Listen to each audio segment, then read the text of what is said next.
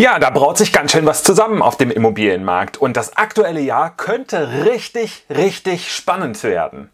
Es gibt so ein paar Fallen, die man jetzt schon vorhersehen kann, die auf Immobilieneigentümer zukommen. Nicht nur auf vermietete Immobilien, sondern auch auf selbstgenutzte Immobilien. Das ist ein Bereich, den ich ja auf meinem Kanal relativ wenig anspreche, der aber heute mal ausnahmsweise nicht zu kurz kommt. Viel Spaß bei dem heutigen Video.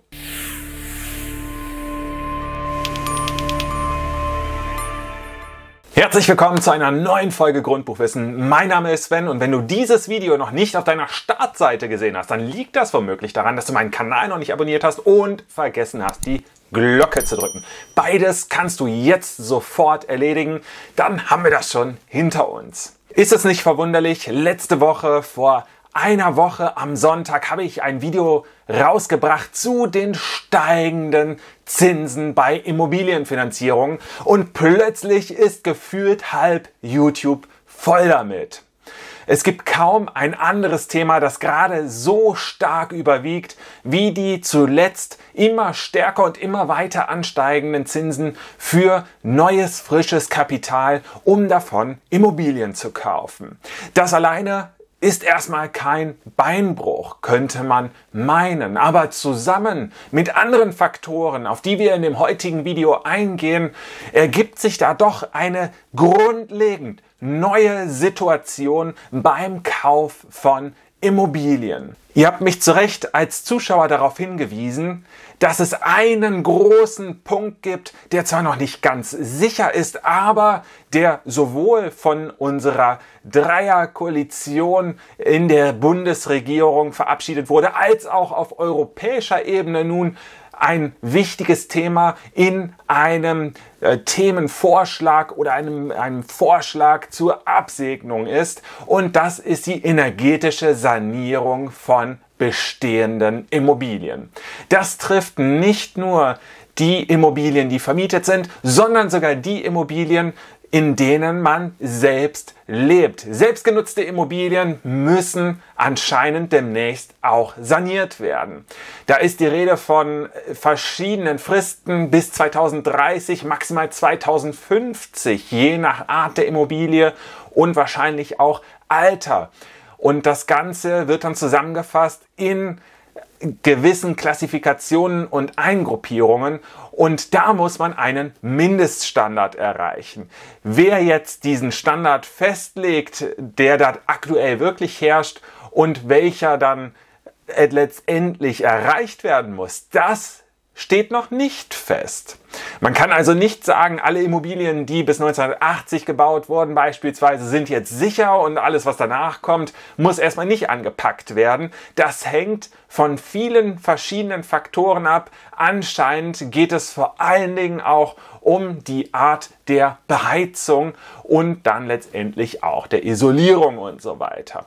Und das trifft, wie gesagt, nicht nur die vermieteten Immobilien, da ist es ja noch halb so schlimm aus Investorensicht, denn energetische Sanierungen kann man kostenmäßig auf die Mieter umlegen. Das will letztendlich keiner, aber wenn die Politik es vorgibt, dass es gemacht werden muss, dann braucht sie sich nicht wundern, wenn die Mieten entsprechend ansteigen. Letztens habe ich gelesen, dass es drei Euro pro Quadratmeter und Monat sein müssten bei einem Investor, damit sich diese ganze Aktion finanziell lohnt und nicht zu einer Insolvenz des Vermieters führt. Davon hat nämlich auch wieder keiner was.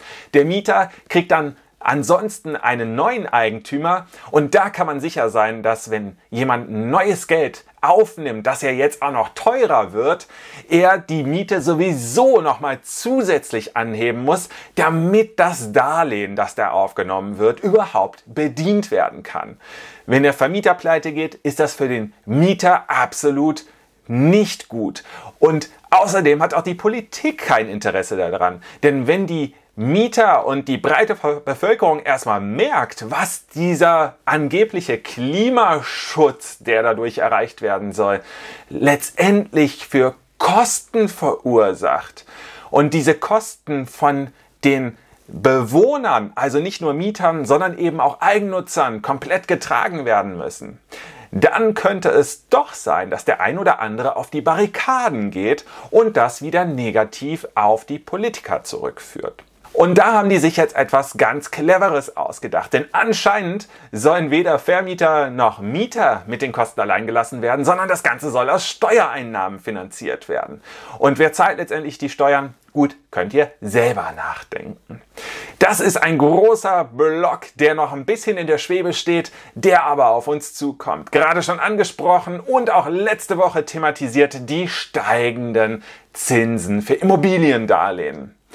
Jetzt könnte man meinen, hey, ich habe ja schon eine Finanzierung abgeschlossen, die läuft und das ist gar kein Problem, denn ich habe ja meinen Zinssatz gesichert. Für viele gilt das grundlegend auch so, aber einige, bis zu einem Drittel der neu abgeschlossenen Immobiliendarlehen sind variable Darlehen und die orientieren sich am Leitzins. Wenn der Leitzins jetzt steigt, steigen eben auch die Kosten für dieses Immobiliendarlehen. Und da lauern einige Fallen für neue Vermieter, neu gekaufte Immobilien in Richtung Zahlungsunfähigkeit. Und das ist aus unserer Sicht, die wir Schnäppchen machen möchten, dann doch wieder eine gute Sache, denn dadurch könnten die Immobilien Zwangsversteigerungen befeuert werden. Und auch das geistert momentan durch die Medien. Es wird mit weiteren Zwangsversteigerungen gerechnet, viel mehr als wir letztes Jahr gesehen haben.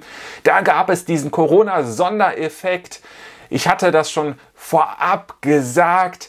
Es ist durchaus mit mehr Zwangsversteigerungen zu rechnen aus zwei hauptsächlichen Gründen. Erstens, viele Menschen haben ihren Job neu aufstellen müssen, haben eventuell finanzielle Einbußungen gehabt, waren in Kurzarbeit und da vermietete Immobilien weiter laufen zu lassen, das könnte durchaus sehr, sehr schwierig geworden sein, wenn man diese einfach zu teuer gekauft hat und wenn ihr mal links und rechts guckt, die Leute, die kaufen alles, egal zu welchem Preis. Hauptsache, man hat etwas und dann wird das auch noch zu 115 Prozent finanziert und dadurch kommt es dann eben zu Zahlungsunfähigkeit. Und der zweite wichtige Faktor, warum wir dieses Jahr mehr Zwangsversteigerungen sehen werden als letztes Jahr, ist die schrittweise Aufhebung der äh, Pandemieregeln und der erneut durchgeführten Zwangsversteigerungen bei Gericht. Viele Termine sind nämlich komplett abgesagt worden.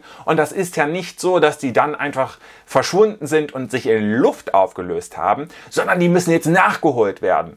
Und dann haben wir letztendlich eine ja, ich will nicht sagen Verdopplung an Terminen, aber doch einen viel höheren Grad und eine viel höhere Taktdichte an Versteigerungsterminen im Jahr 2022, 2023. Und wenn ihr auch mal bei einer Zwangsversteigerung mitmachen möchtet und da ein Schnäppchen kaufen möchtet, dann habe ich für euch einen Online-Kurs vorbereitet. Die Beta-Version ist jetzt freigeschaltet. Da könnt ihr euch anmelden und mir auch Feedback geben, welche Themen euch noch weiter interessieren. Ich verlinke euch das unter diesem Video, blende euch auch ein, wie ihr den Kurs findet. Und dass Immobilien, egal wie gut sie sind, wie schlecht sie sind, in welchem Zustand, wie hoch oder sogar niedrig die Rendite ist, verkauft werden. Das ist nicht nur mein Eindruck, den ich euch schon seit ein, zwei Jahren mitteile, sondern inzwischen sagt auch die Bankenaufsicht und auch die Deutsche Bundesbank,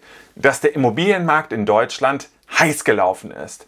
Da wird von Übertreibungen von 10, 20, 30 Prozent gesprochen, je nach Region, je nachdem, wo man sich befindet. Und ihr könnt das auch gut beobachten. Menschen die eine Renditeimmobilie in Großstädten kaufen wollten, aber da weder das Eigenkapital hatten, um diese wirklich teuren Kaufpreise, wir reden da von 5000 Euro pro Quadratmeter und aufwärts, da sind auch 15, 16, 17.000 Euro teilweise aufgerufen und bezahlt worden.